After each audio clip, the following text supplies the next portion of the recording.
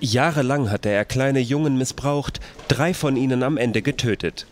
Bislang aber hatten die Ermittler keinen Zugang zu verschlüsselten Datenträgern, auf denen der als Maskenmann bekannte Martin N. seine Taten dokumentierte. Jetzt hat die Polizei bekannt gegeben, dass der zu lebenslanger Haft Verurteilte die nötigen Kennwörter verraten habe.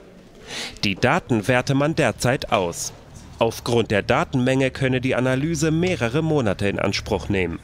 Bislang ergab sich kein Hinweis auf weitere Tötungsdelikte.